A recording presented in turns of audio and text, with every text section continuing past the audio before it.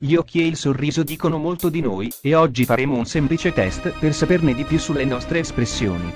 Con un sorriso vero, genuino, gli angoli della bocca si alzano e gli occhi si restringono e si corruggano agli angoli. Un sorrisetto compiaciuto o un sorriso parziale che segue una microespressione di dispiacere o disprezzo può suggerire incertezza, disprezzo o antipatia. Un sorriso accompagnato da un contatto visivo duraturo, uno sguardo lungo o un'inclinazione della testa possono suggerire attrazione. Gli occhi che lampeggiano possono rivelare forte stress, preoccupazione o disagio. Le tue pupille in genere si dilatano quando ti senti positivo verso qualcosa o qualcuno. Questi sentimenti potrebbero implicare un'attrazione romantica, ma non è sempre così.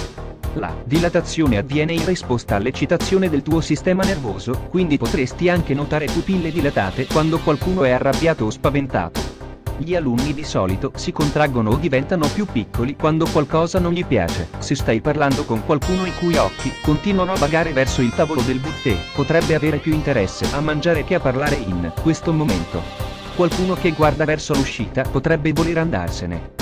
Le persone tendono anche a spostare gli occhi in basso o di lato quando, lavorando su un problema, richiamare informazioni o ricordi pensando a qualcosa di difficile. È interessante notare che anche le braccia incrociate possono suggerire fiducia. Se qualcuno incrocia le braccia mentre sorride, si appoggia all'indietro o mostra altri segni di sentirsi a proprio agio, probabilmente si sente in qualche modo in controllo della situazione, piuttosto che vulnerabile.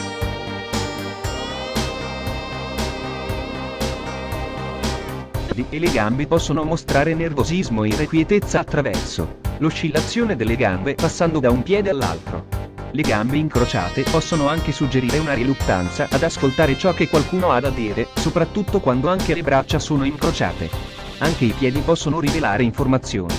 Nota la direzione in cui sono rivolti i piedi di una persona durante una conversazione. Se i loro piedi puntano altrove, potrebbero avere più voglia di lasciare la conversazione che di continuarla. Se i suoi piedi puntano verso di te, è probabile che la persona si stia godendo la conversazione e spera di continuarla.